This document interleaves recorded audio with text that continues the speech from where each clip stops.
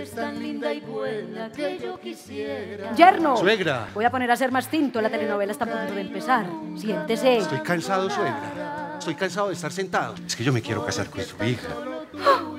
Tiembla. ¡Está temblando! Tiembla, Dios mío, otra ¡Está vez. temblando! No, no, no, hay que meterse debajo de una cama, debajo de una mesa, debajo de cualquier cosa para que no nos pase nada. Y le juro, mi amor, que cuando pueda, mando todos estos cachivaches para la calle. Porque ahora yo soy el hombre de esta casa.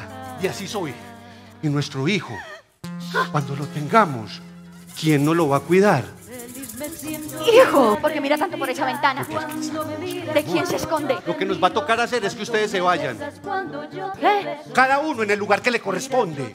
Cada tiesto con su arepa, ¿o no? Mejor dicho, es que a mí no me gusta que nadie me la monte, mi amor.